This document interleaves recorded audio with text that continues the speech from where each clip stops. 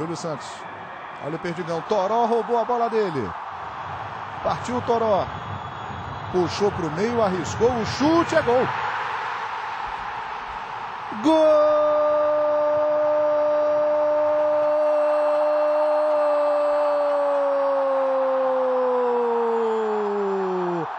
Toró!